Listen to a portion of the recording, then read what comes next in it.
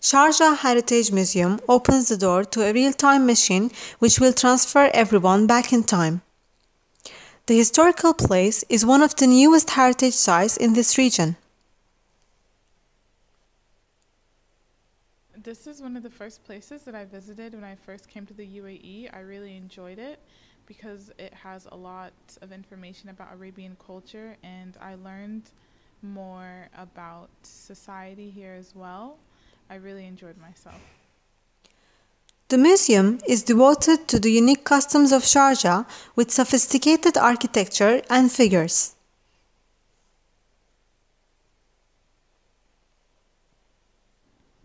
This part of the museum represents traditional Arabian culture and is one of the most important parts in this place. The place is a source of immense pride and inspiration to the people of the United Arab Emirates and true eye-opener to the traditions of this great region and to the visitors.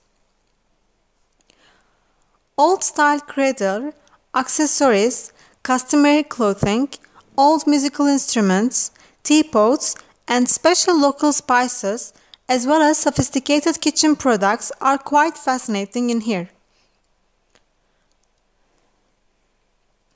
The place is built in 2012 as part of an expansion to the original museum first opened in early 2003. The museum is open to the public Saturday through Thursday from 8 a.m. to 8 p.m. and Friday from 4 p.m. to 8 p.m.